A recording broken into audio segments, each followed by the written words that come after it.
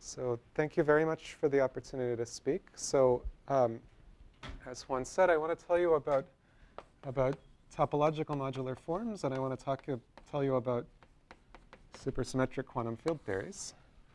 Um, and just to say, uh, well, I'll give somehow the, I want to kind of give away the game, give away the punchline of, of the, or the motivational belief that, that that's motivating quite a lot of the talk, um, which is that, that in the case, the,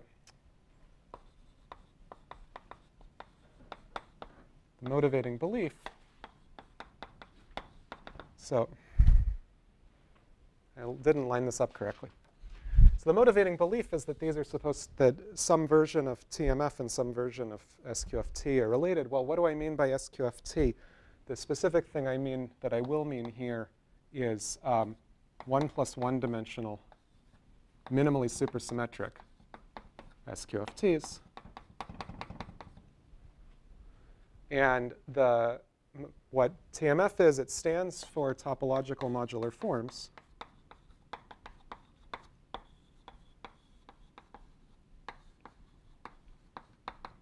And um, I won't say much about the mathematics of TMF in this talk, but it's a, a universal version of elliptic cohomology.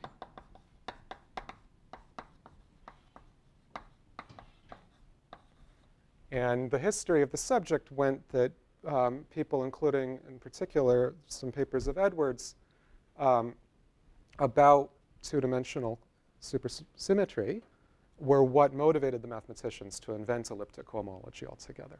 And now it's coming back, hopefully. So that's the, the, the background. But I want to start I actually want that's sort of, well, anyway, that's in the back of my head. So the, the general context of what I want to tell you about is um, a general question that I think lots of people have contemplated versions of. There's a, a general question which I'm going to phrase in a very underdefined way. The question is, um, classify quantum field theories up to deformation. Or if you're a mathematician, maybe I mean something slightly stronger than that. Um, a mathematician might actually ask something slightly more. I might ask, um, calculate the, the homotopy of the space of quantum field theories. And um, this is very underdefined the way I've phrased it. I should tell you to, to make this at all a, a sensible question, I need to tell you all sorts of extra things about what I have in mind for this type of space. So, so what I should really tell you is, is of course, I need to tell you, makes sense. At the minimum, I need to tell you a, a bit more, like I should tell you, for instance, what dimension I'm working in.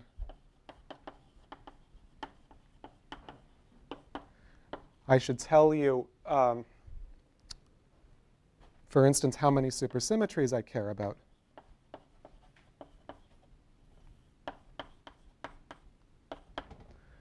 And can you see this, by the way, with the podium?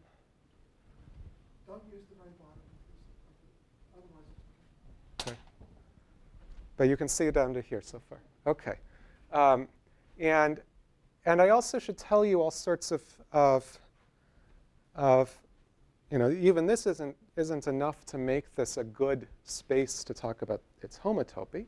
So I should tell you some analytic questions. I should tell you um, some analytic questions about, about um, which QFTs are allowed, are analytically allowed.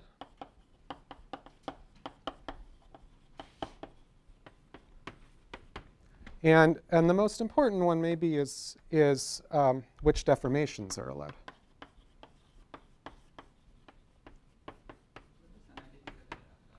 I'm sorry? Well, let me give an example. Let me, um, so eventually, I've already told you the, the first two questions for the case I care about. Eventually, eventually, I care about the case where this is two total dimensions and where I have one supersymmetry. But I'll warm up with some lower dimensional, fewer supersymmetries in lower dimensional case. Um, what do I mean by analytically allowed? So,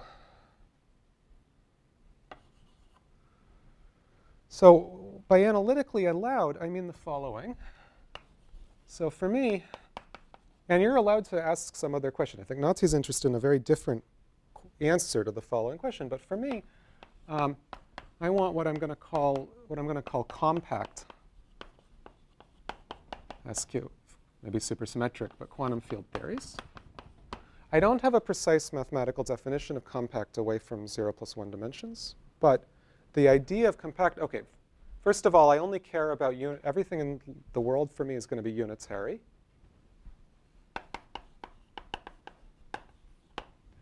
And, and for me, compactness is some sort of spectral condition, is that this is a spectral condition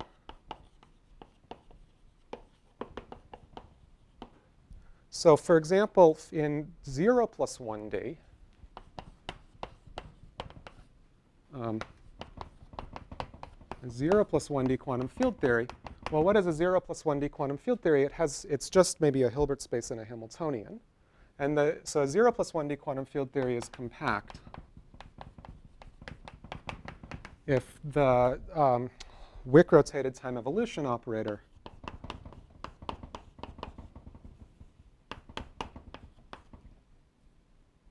is, maybe I should call this tau, for Wick rotated time, um, is trace class for all positive real numbers. So this, this forces the spectrum of the Hamiltonian not to, so first of all, this forces the Hamiltonian to have, this is some weak version of gapped, so it forces the spectrum to, have to be discrete with finite eigenvalues. And it also prevents too much piling up at infinity of the spectrum. So this is, this is slightly stronger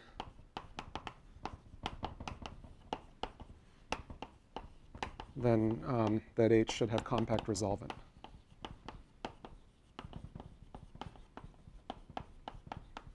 I realize that I'm a mathematician speaking to a physics crowd, so you might not care about the subtleties of, of analytic trace class, Trace class.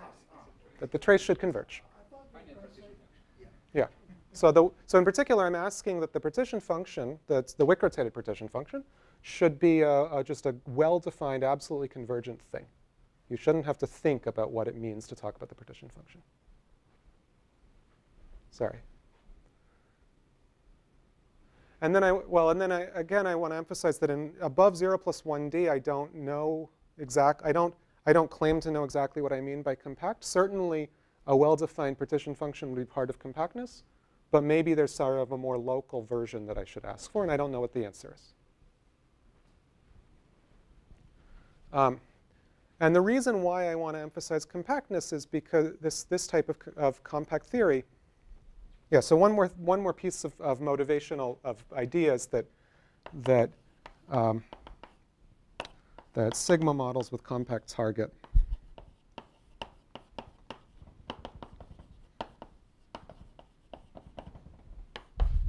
Whatever compactness means, it should at least admit sigma models with compact target.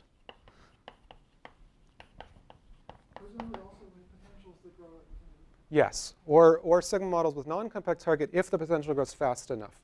And what I don't know is the details of that speed. I mean, a, a potential that grows very slowly at infinity will not be compact. Presumably at a minimum, you want that if you compactify on a slope, you get a compact theory. That, that's absolutely the minimum that I would require, and I don't know if that's enough. My, my, my guess is I want to ask something slightly stronger than that, but I don't know how to phrase it.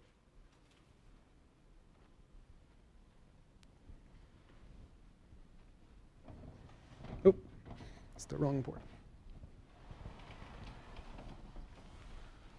So, the last thing I want to say is about what, what type of deformations I want to allow. And again, in the 0 plus 1d case, the moduli space I'm imagining is the space of, of quantum mechanics models with this analytic condition. And that space is known how to topologize it. And so I'm going to try to reproduce a topology like that. So the types of allowed deformations that I want to allow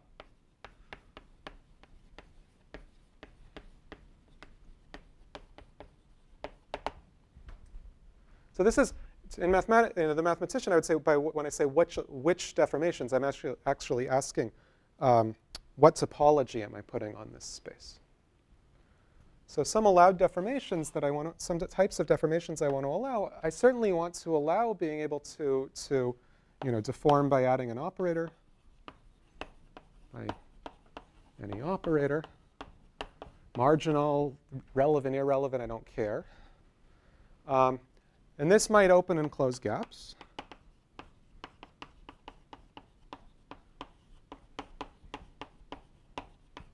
My spectral condition means that my Hamiltonian has some weak version of gappedness, but, but uh, condensed matter theorists might care about keeping the bands apart. And I'm not going to ask that. That's a very interesting topology. It's not the topology I care about. And um,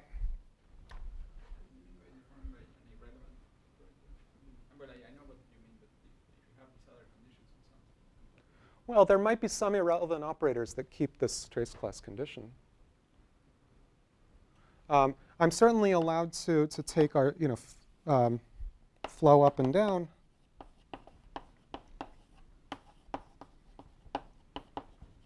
along RG flow lines, RG flow up and down.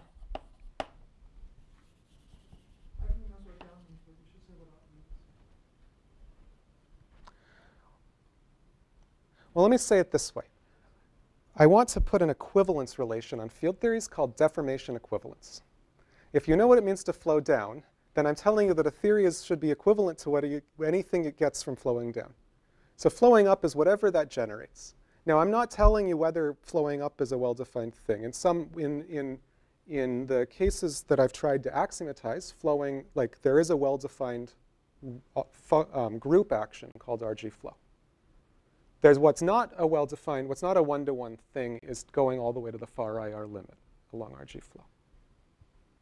So for instance, in the quantum mechanics case, RG flow just rescales the time parameter, which is to say it rescales the Hamiltonian. That's a perfectly well-defined group action. Now you could ask what happens when you flow to the far IR or the far UV. So imagine we're in quantum mechanics. Yes. the Hamiltonian is just the harmonic oscillator. Great.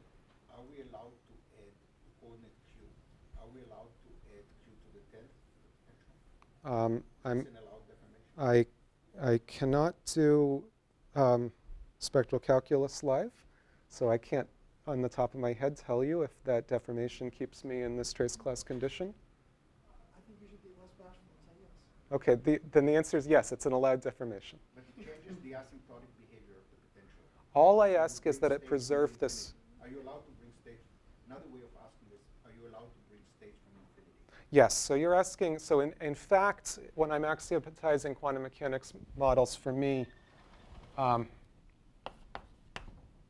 my quantum mechanics models um, have always have infinitely many states, have infinitely many um, eigenvectors at infinity. So in fact, if you ask me for the details, I'll tell you that for me, uh, quantum mechanics model is a Hilbert space with an operator on it which is, has, um, which is self-adjoint on the closure of its domain, but the closure of its domain should be of infinite codimension in the whole Hilbert space. The last sentence was too fancy. Okay. If I'm in the supersymmetric quantum mechanics, Yes. deformations like this can change the Witten index. No, I don't believe you. Well, there's a question of whether you allow them or not. No, you- he doesn't let you turn off the potential at infinity. You can make the potential at infinity bigger, but you can't turn it off. Because then his spectral condition won't be satisfied. Right. if you have an, like an x to the fourth and then you turn it off to an x cubed, I mean, the spectral conditions obey. X cubed now because it's not positive. But Well, let's say X squared. superpotential. you, you're correct. but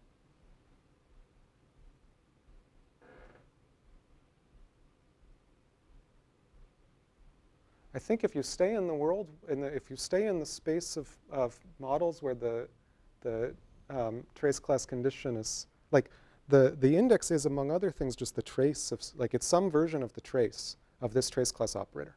As long as, and it's an integer value thing, as long as you're staying in the space of things where that's a well-defined thing, and you need to arrange the topology, so you still have to do some things to arrange the topology to make sure it can't jump in really weird ways. But it won't jump unless, it, unless you pass through something where it's not defined. Okay. Well, I'm, I mean, I'm happy to revise. I, I want to, like, whatever. I want to work in a world where, for instance, the index is a well-defined invariant. And I think that I've said the axioms correctly for that to be true. I haven't actually told you the topology in this space. I, okay, the topology I want to work in is this um, strong convergence of the resolvent and um, with the strong operator topology on the space of Hilbert spaces. And I believe that when I say those two words, then the index is a uh, homotopy invariant. So, in fact, I think that the index is a homotopy invariant even if I work in the slightly larger space where H has compact resolvent.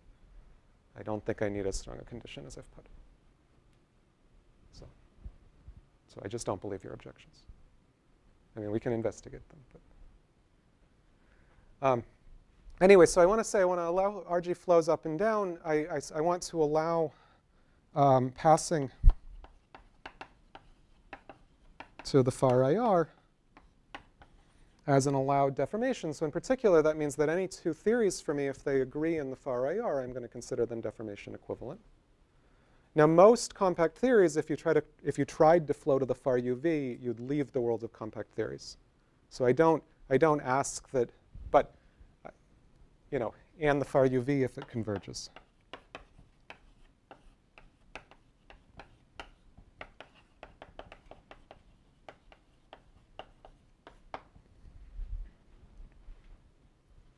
Um, and then I think that if I'm paraphrasing Nati correctly, Nati would have called these the HEP-TH deformations. And Nati might have called this the cond-mat deformation but maybe I'm, maybe I'm not paraphrasing you correctly.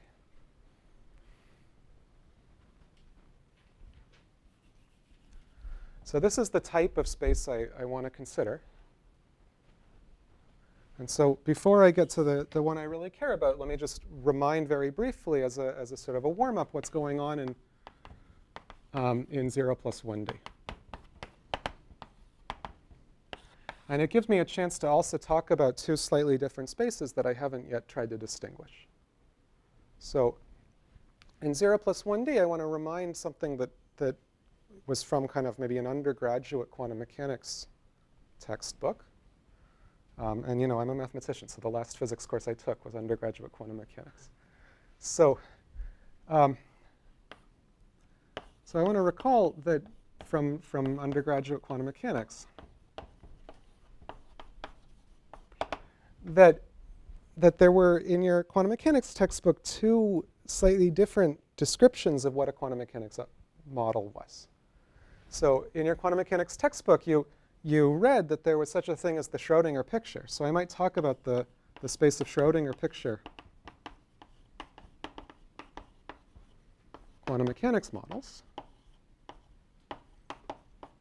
And up to these, these important questions about, that are functional analytic in nature about, about the details of, of the allowed spectra of the Hamiltonians, uh, Schroding, Schrodinger picture quantum mechanics model was um, an element in this space was a Hilbert space.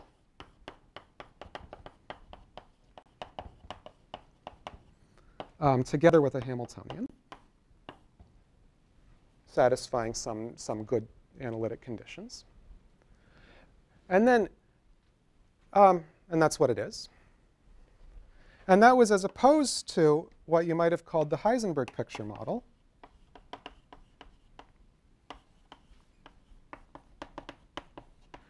And what we all know is the Heisenberg picture is a slightly more physical because there's something slightly non-physical about the information in a Hilbert space.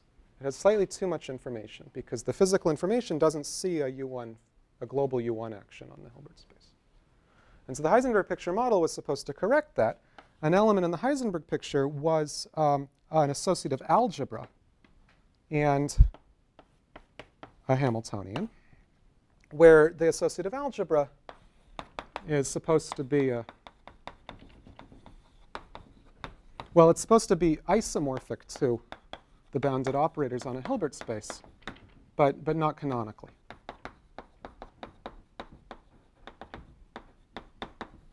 And, and the correct math way to say that is that, that, that A is a, um, a type 1 von Neumann factor.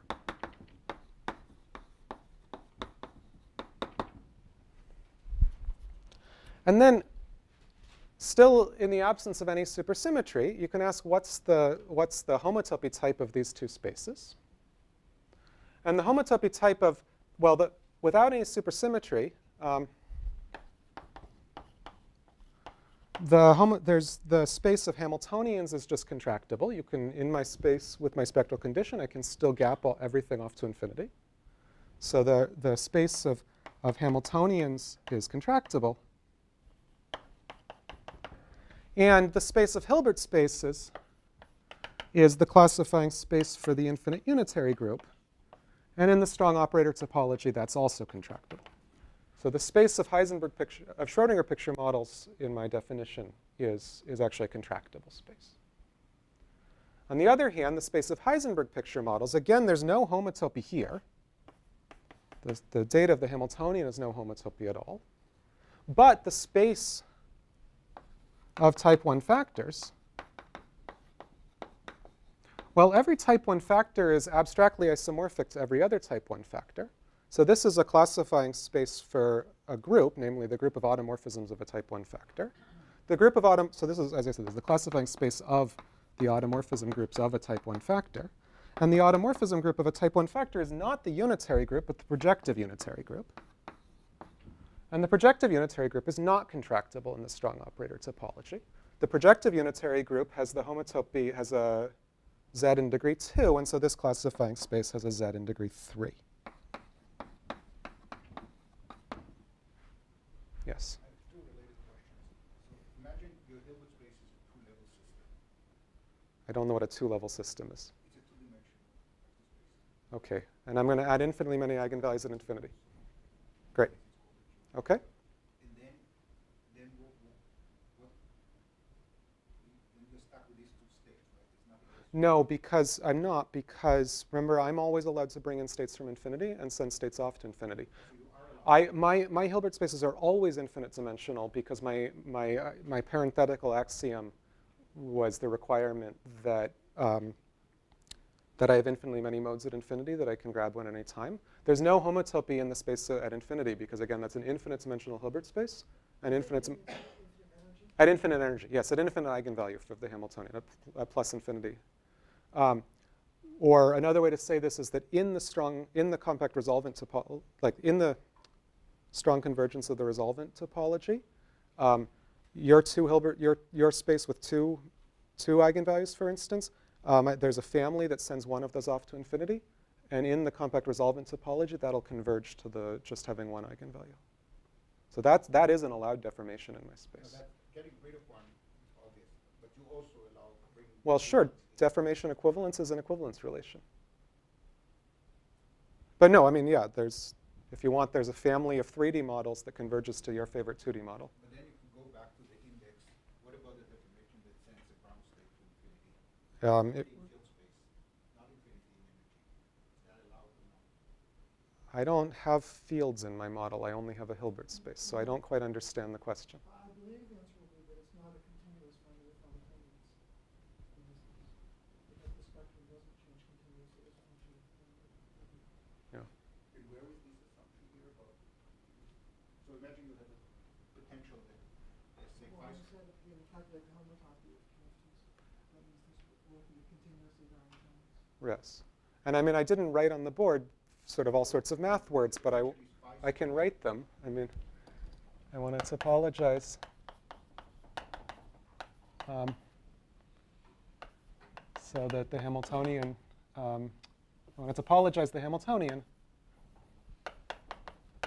with the topology of compact resolvent um, strong convergence, the strong convergence of the resolvent. So that's some specific topology on the space of, of unbounded operators. And Let's go back to the harmonic oscillator. yeah, And I add epsilon, which is a small parameter, said coordinate is cubed due to the depth. okay. To exclude that for arbitrarily small epsilon. Um, again, I can't do these on the board. I would have expected that I was allowed to add a q to the 10th per, um, deformation continuously. But I, I can't do it on the board. I believe that I can, but I cannot do it live on the board. No, that's not the example that we're trying to talk about. We're trying to talk about an example where potential is relative with minimum comes in from the objects. Could be another minimum without x. I mean, if, if you have a, de- a deformation that brings, that sort of sends the, the, the potential back down very low at infinity, that will typically not be a continuous deformation in my space. If your deformation, if your Hamiltonian stays very large, then sure. That will typically be continuous. But- Asymptotically, Yeah. larger than 1 over epsilon to a power, it go up. Okay. But before that, it will come down very large distances and then come back. Well, I think that we should um, actually work it through after the talk and see what happens.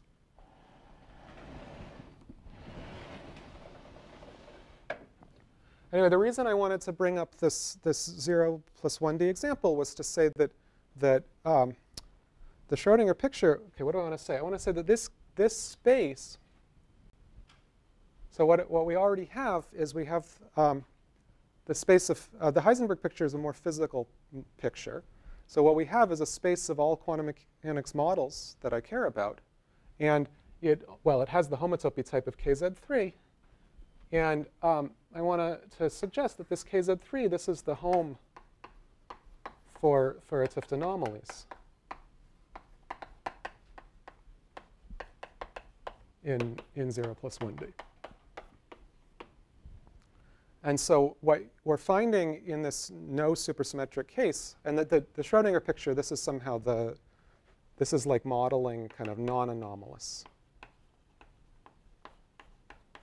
quantum mechanics models. And so what we're finding in the absence of any supersymmetry is that, which is sort of expected, is that um, is that in the without supersymmetry, the space of non-anomalous models is actually a contractible space. The space of all models, rather, mapping to, to the corresponding anomalies, um, is a homotopy equivalence. So what we're finding in this very low dimensional example is that the only homotopical information in the space is something about anomalies. Absolutely. So, so my, like I, I'm talking about the space of all theories. I can certainly use it to study the space of theories with any symmetry that you want, because that would be some point in that space with that symmetry. Um, what I told you here about the automorphism group is telling you that what it means to have a symmetry on a Heisenberg picture model and what it means to have a symmetry here are different. A symmetry here would have to be a group acting on the Hilbert space preserving, with the preserving the Hamiltonian. A symmetry here would be a group acting on the von Neumann algebra preserving the Hamiltonian. And then you can ask, given a group acting on the, Hamilton, on the von Neumann algebra, what does it mean? You know, what's the obstruction to lifting it to a Hilbert space action? That is the 't anomaly. And so yes, you can, I mean, any, your favorite example of an anomalous theory. So um, the Klein 4 group has lots of actions that are, has a, you can write down an action with an anomaly, for instance, that's mixed between the two, the two Z2s. So that was the first conclusion. I want to very quickly add a little bit of, I want to add some fermions in the game first. This whole story is still without supersymmetry. It's easy enough to add some fermions, and the only reason I want to say it is because that calculation changes. So I could have perfectly well talked about fermionic theories and said the word super Hilbert space And then I wouldn't have BU infinity, I would have had BU infinity bar infinity, but that's still contractible, so there's no information there. And I could have perfectly well said the word type 1 von Neumann factor, type 1 von super von Neumann factor. And now this all changes because there's actually two different super von Neumann factors up to isomorphism. And the whole homotopy group has a, a z in degree, a z2 in degree 0, a z2 in degree 1, and a z2, and a, still a z in degree 3. Um, and I write this up just to flag that, that this Z2 in degree, so there's, there's actually two components.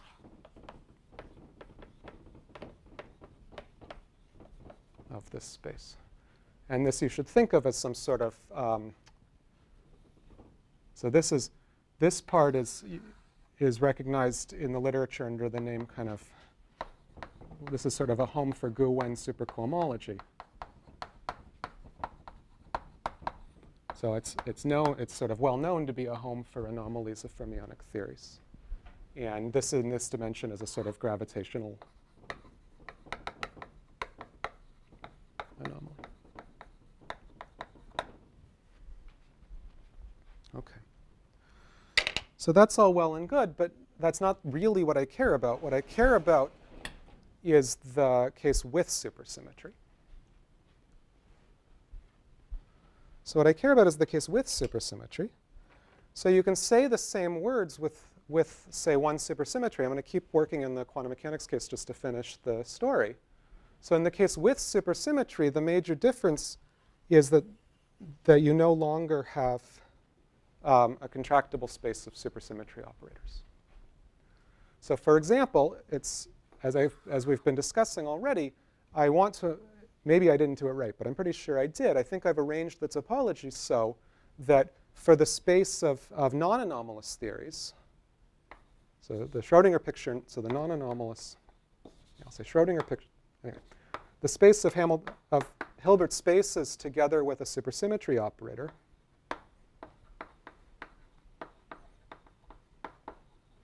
has a very famous um, z-valued invariant called the index. And this is actually a surjection. So every index is realized. And so this shows you that this space, um, that it shows you that even the space, so let's call this, I'm going to start giving, yeah, so this shows you that the space, that this space is definitely not contractible.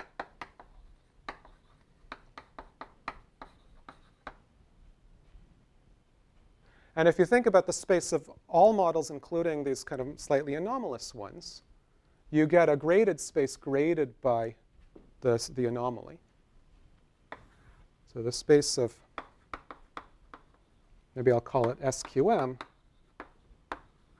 of all possibly anomalous, maybe I could call them Heisenberg picture.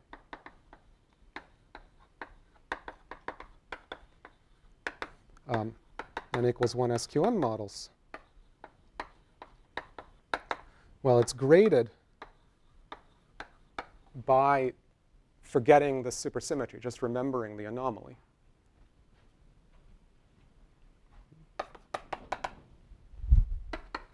By this, this, hum, this um, space with two components. So in particular, it has, a, it has two pieces to it.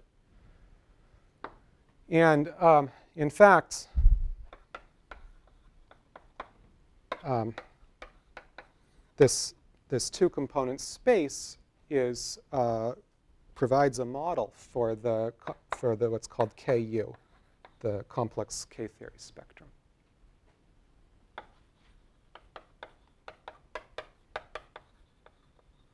So that tells you all of the homotopy groups. This is a very well-studied object in mathematics.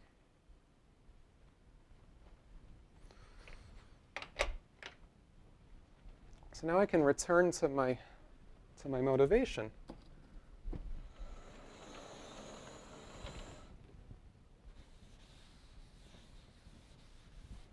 So our motivating hypothesis is that the same, that a similar story about supersymmetric quantum mechanics and K-theory holds one dimension up in dimension two.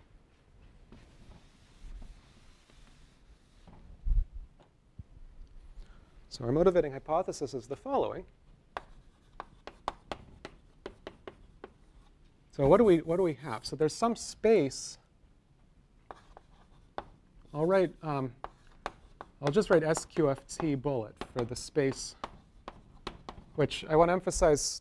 If there are any mathematicians in the audience, that I don't claim to have a definition of this space, and if there aren't, then you don't care. But um, the space of of minimally supersymmetric, so n equals 0, 1, 1 plus 1d SQFTs, compact.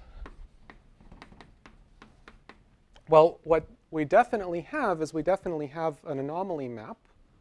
There's a, a map to the fermionic um, 1 plus 1d uh, quantum field theories. And just as in the quantum mechanics case, one should expect, but I don't think we have any sort of idea of a proof for this, but I think it's reasonable to expect, and I think Nati has also conjectured, that, that in the absence of any supersymmetry, this space should have, the only homotopy invariant should be the anomaly. So that, that this should be homotopy equivalent to the space of anomalies.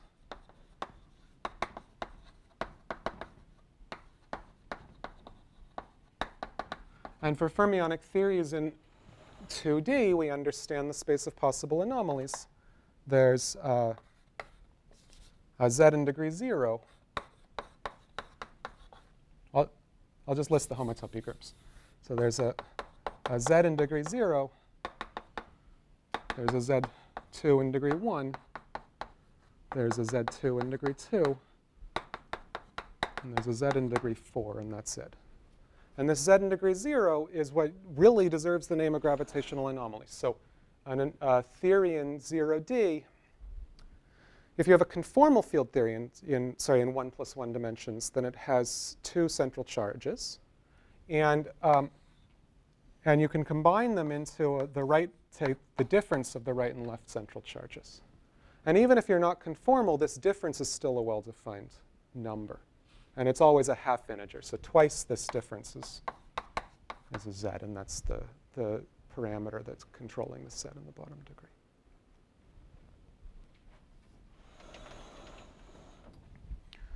And our motivating hypothesis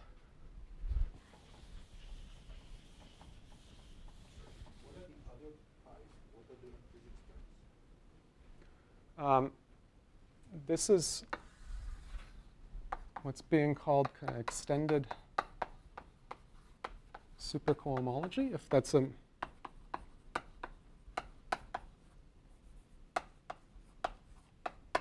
if that's a meaningful phrase for you. Okay.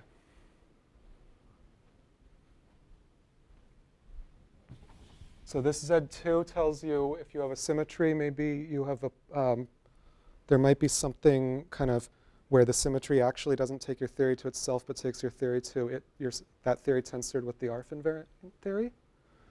Um, and this Z2 is a kind of um, measures whether you can actually get your theory to act on the Ramond-Hilbert space or whether it's projective on the Ramond-Hilbert space. And this Z is the ordinary Dijkgraaf-Witten um, term in the anomaly. What's confusing for some of us is that when you're asking from what the anomaly is, you assume the symmetry rate, which hasn't until that point been part of the discussion.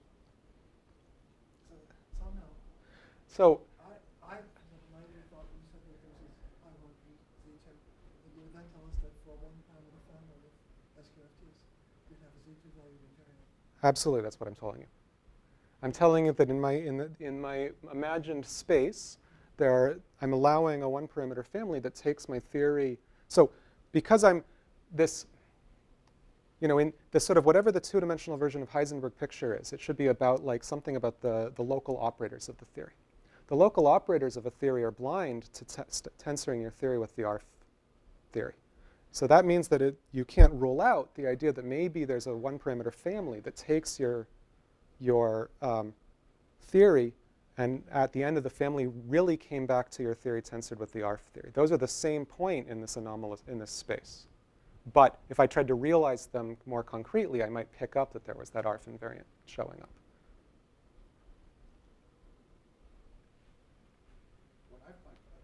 first one, you have the Arf invariant because you have the fermions. Yeah. within the- But there might also be other symmetries, might be global symmetries. And Do you Yes. limit yourself to deformations that preserve the global symmetry? I, I've been talking about the space of all field theories, and I, um, I mean, imagine my, my, my belief when I'm talking about this space is that if you want to ask me about the space of theories with symmetry group G, that would be the, the space of maps into this space from the classifying stack of G. And so understanding the homotopy of this space, understanding the full homotopy of this space, would, up to sort of the type of hard calculations that homotopy theorists are good at, would in principle tell you the homotopy of the space of theories with symmetry group SU2 or the space of theories with symmetry group whatever. So for instance, kind of this, the gravitational anomaly itself tells you that this space has only has Z components. But if I had a Z2 symmetry group that I was acting on, it might probe this Z2, and so I'd get some you know, components that measured both from here and from here, and in fact from all of this.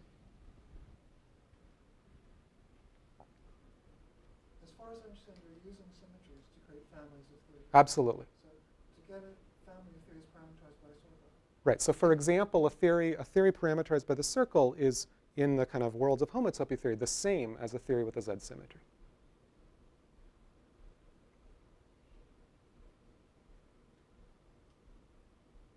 Now, if you if you arrange a stricter notion of the space of quantum field theories, those might be different. But in the, as a homotopy theorist, S1 is the same as a Z symmetry, an S1 family.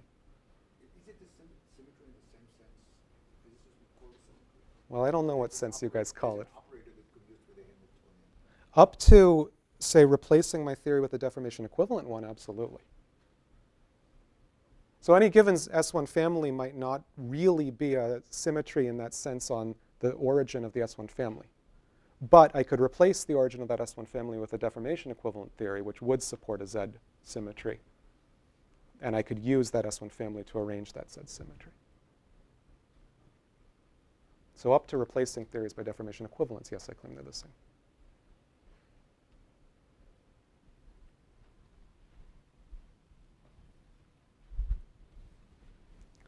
Um, I'm not going to have a lot of time, so should I continue on? I'm happy to just talk about this part, but, but this isn't sort of the most exciting part of what we did. So the motivating assumption for us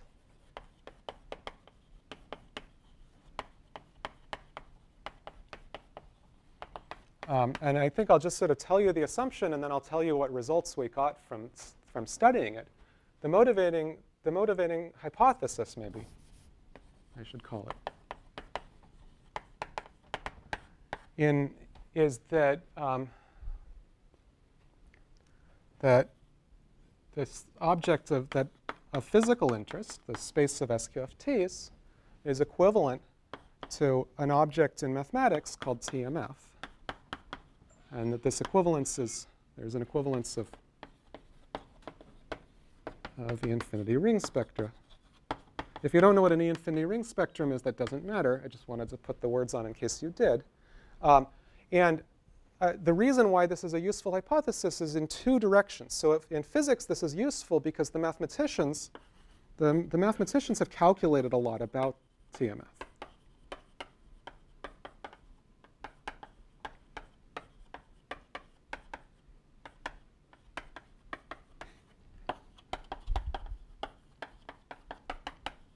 For example, we know, um, we pretty much know all of its homotopy groups.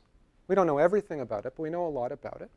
So it's useful in, the hypothesis is useful in physics because it, it makes predictions, actual predictions about this space by saying, uh, you go and look at what's known about TMF and you use them to make predictions. On the other hand, it's useful in mathematics because um, hopefully we will have an analytic definition of SQFT. But um, TMF so far, um, this does not have an analytic definition.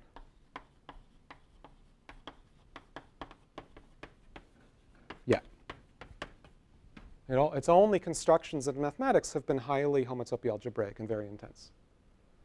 Um, and so the, one of the reasons for this, this program is that hopefully we can eventually have an analytic definition of what a quantum field theory is and then use the space of quantum field theories as a model to, like, to provide a definition for TMF. Um, and then better than just the hypothesis, so there's an index from SQFTs that lands in modular forms. It's a famous modular form valued index of a, of a 0, 1 theory. And there's also a well-known map from TMF, and the hypothesis is that, that these maps are the same. And that helps um, nail down the equivalence. So let me mention some of these predictions. So for instance,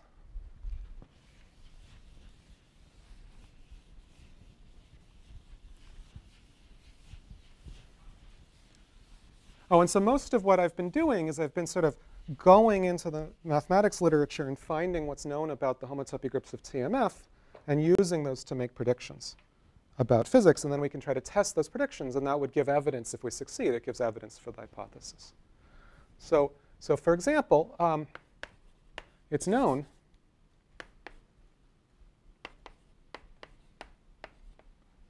So what I want to say is the following. What you can read off directly from the construction of the index of a quantum field theory is, is it sort of automatic from the construction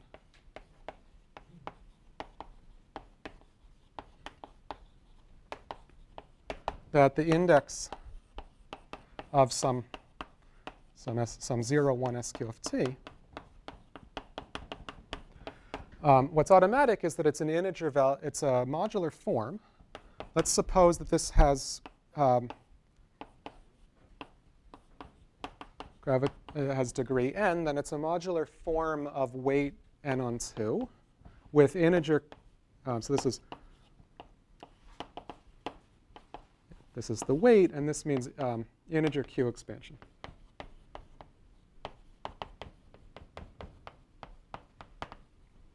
And you can get a little better than that. Um, no, just integer.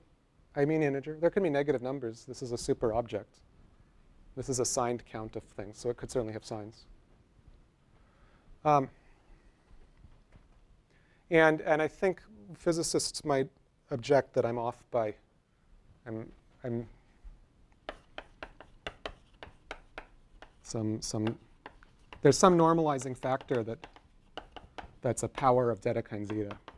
So the, the index that Edward originally wrote down was, was, had an interesting um, multiplier under the T transformation that depends on the gravitational anomaly. And you can correct that by, by multiplying by some powers of eta to correct that, and that changes the, the weight of the modular form, and it matches better with what the mathematicians do. But from the, from the hypothesis, see, from the hypothesis, um, actually the, the map,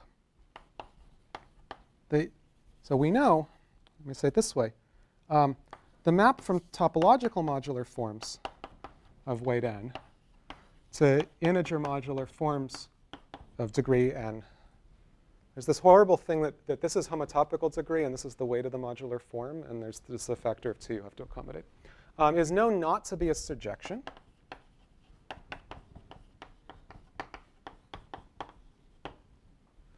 And so that um, the failure of this to be a surjection should constrain the possible values of the index. So not every index can be realized as the index of an SQFT if the hypothesis is correct. And so for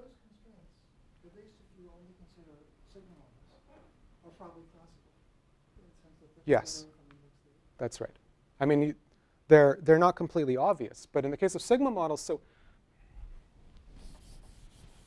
see, there's a space of, of manifolds with appropriate, um, with what's called a string structure, which is what you need to cancel some anomaly. And there's, you can take the sigma model, and there's also known to be a map to TMF. And um, the constructions are already known that these two compositions agree. And so the, the hypothesis is that, that kind of the sigma model is what the homotopy theorists know how to do. But yes, you can read it off from just facts about divisibility of Eisenstein series in the case of sigma models. Um, but so the example I want to mention, I'm not going to get any time. So the example I want to mention is that, that for example, um, the um, delta itself is not in the image. But, but 24 delta is. And so, so this led us to a search. So this suggests an interesting problem.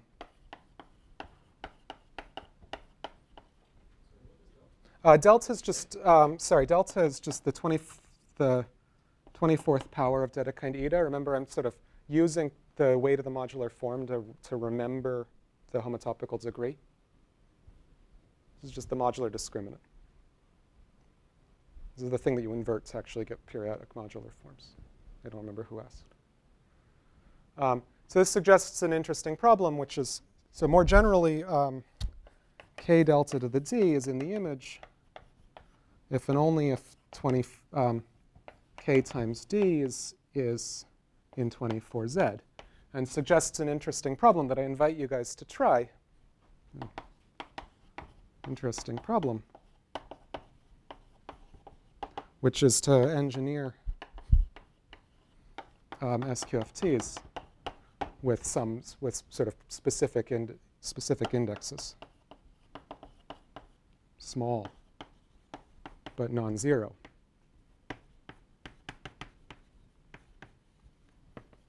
Indexes.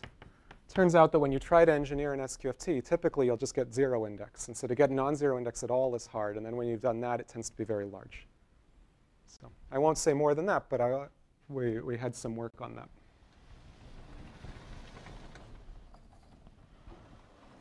The other prediction that I promised in my abstract, um, yes? Ah, where do modular forms come from? So um, these are, are from, well, I, I, haven't told you what TMF is, so I won't. But from the physics side, uh, an SQFT is in particular, uh, well, it's a, a, one plus one dimensional quantum field theory. And so I, and it's unitary, so I can Wick rotate it to a Euclidean signature theory. And then after Wick rotation, I get a, uh,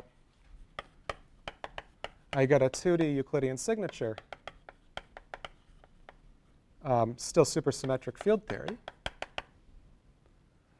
And then the, um, the index itself is the partition function on um, a two torus with um, periodic periodic spin structure.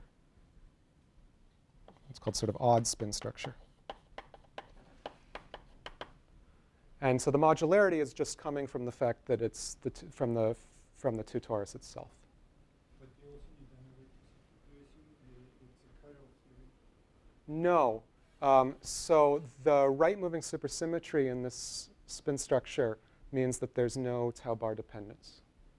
So, so just from the fact that it's a partition function on a two torus, it's, it's a function of tau and tau bar.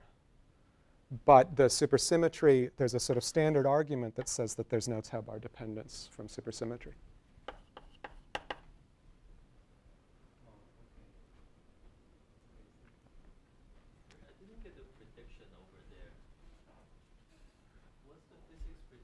Uh, the prediction is that there should exist um, super symmetric, so su super quantum field theories in this dimension of, yeah, so the prediction is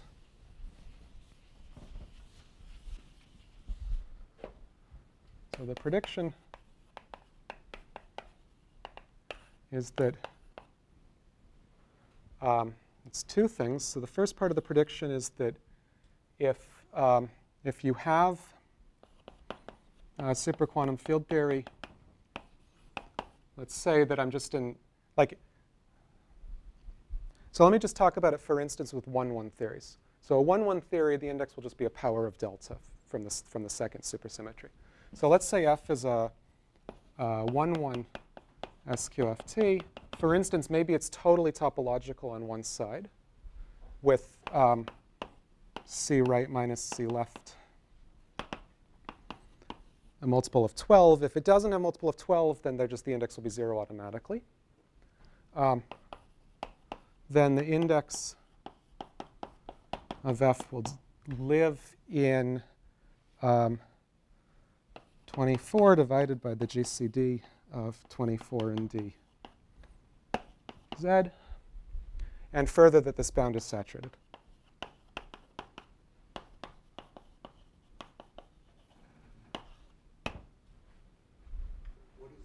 Uh, just some number. If it's the gravitational anomaly divided by 12, because if it's not divisible by 12, then the index is just going to vanish for a 1-1 theory automatically. So I might as well work in that degree.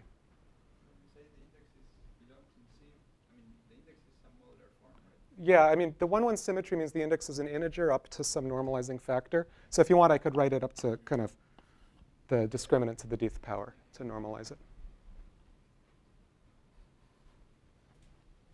And so it's an interesting problem to try to find theories with this index and maybe see if there's, maybe the prediction's wrong. Maybe there's theories that, that aren't in this space. So I'm going to have no more time. Okay, sorry. So the, I'll just say very quickly the, another prediction that we tested that comes from this hypothesis. So another prediction from this hypothesis is that if you take the S3 sigma model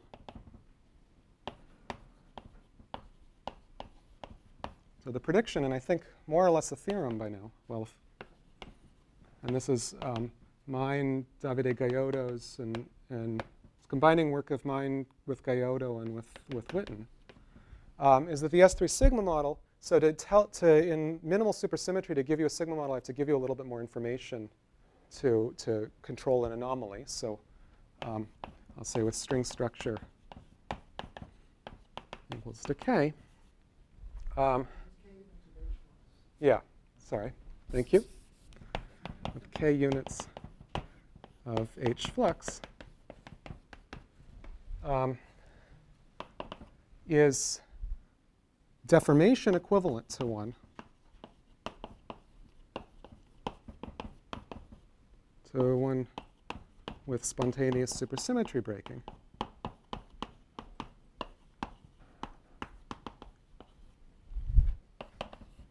If and only if k is divisible by 24. Yeah, sorry, the, the, the 0, 1 sigma model. So this is the SU2 WZW. Yes.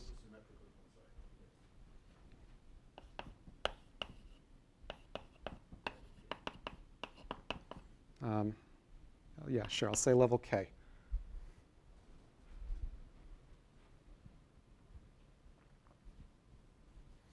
that's the prediction, and it's what we were basically able to show. And I won't say anything about the proof because I'm supposed to end it in one minute. But I'll tell you one step in the proof.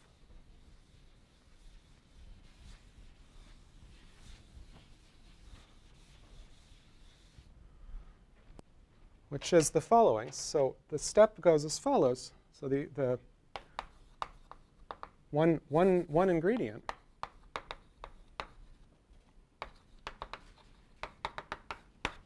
is that we argue that if, if you have a theory um, has c right minus c left, twice c right minus c left in 4k minus 1, um, and if you have a, a, way to deform it to one with spontaneous supersymmetry breaking, with a, a a sort of path in the space of SQFTs to, to one with SUSY breaking, um, then from the data of that path, I can give you uh, an SL, a real analytic. Let's see. I can give you a function f hat of tau and tau bar, which is um, SL2Z modular. But it's, it's not holomorphic, um, but solves a holomorphic anomaly equation that the square root of minus 8 um, tau 2, this is the imaginary part of tau, df hat d tau bar is the um, one point function of the SUSY symmetry generator.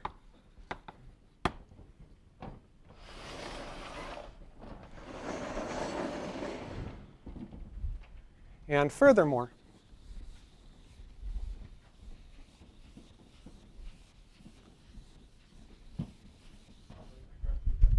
yeah. Uh, 1 less than a multiple of 4. And that's the same K as here? No, sorry.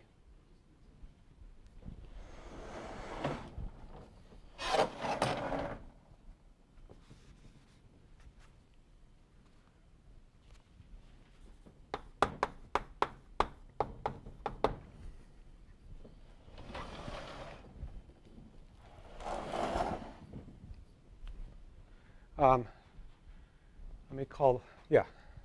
And finally, that, um, that this function, if you take the kind of q expansion of this function, so what does that mean? You write down the limit as tau bar goes to minus infinity of f hat. That's still a function of tau. This has integral q expansion.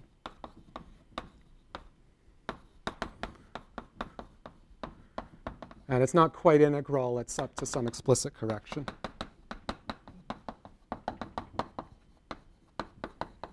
That I'm not going to tell you about. It's related to the mod 2 index, but it's something explicit and usually 0. And so if you have a null homotopy, then you can produce a function solving this, these two these properties. And so on the other hand, um, given the one-point function, you can measure, given the one-point function of the supersymmetry generator, maybe I'll call this the, the one-point function of the supersymmetry generator. Um, given the one-point function of the supersymmetry generator, you can measure the obstruction to being able to solve these equations.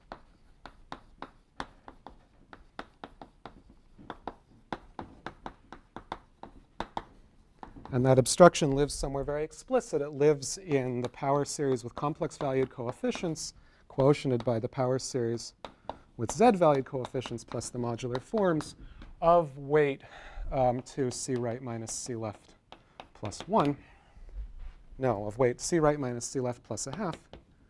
Um, and this has lots of room for torsion invariants. And so this is where this has lots of torsion. And so we have this explicit, um, and, and the final statement is that this obstruction as a class in this space is a deformation invariant. That this